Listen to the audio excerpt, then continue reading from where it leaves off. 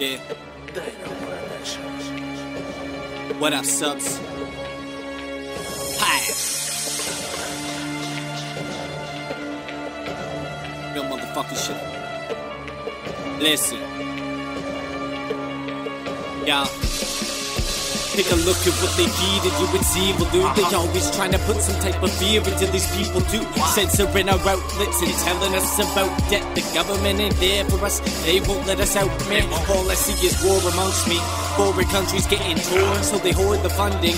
Now the hungry wanting more. We riot for our freedom, we ain't blind to how we're treated. Keep your mind amongst the sheep, and you gon' die when something's needed. Hiding real news from y'all, so if you feel soothed and calm, like they still using bombs. But I feel truth is gone. The TV programs keep them breathing, but they need to slow down. They know how to keep them fiending what they hold down. It's profound. They look like zombies when they walk amongst us. Technology has got them lost for where they come from. They aware of what they doing, but they keep it hush. Hope y'all prepared for the movement when the fucking evil comes.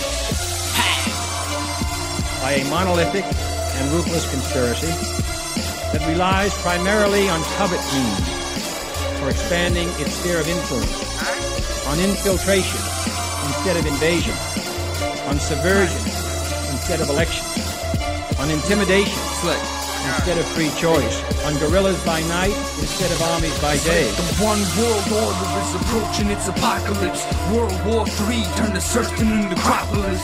They always watching us, Big Brother's eagle eye. If you look a little closer, maybe you can see the lies. The heart manipulating all the season tides. Revolution rise and just cry when your freedom dies.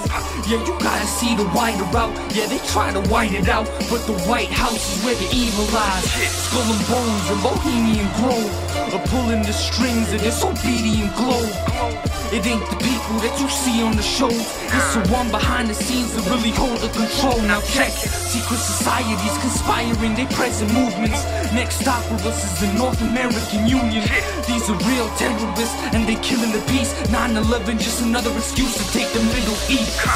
by a monolithic and ruthless conspiracy that relies primarily on covert means for expanding its sphere of influence, on infiltration instead of invasion, on subversion instead of election, on intimidation instead of free choice, on guerrillas by night instead of armies by day,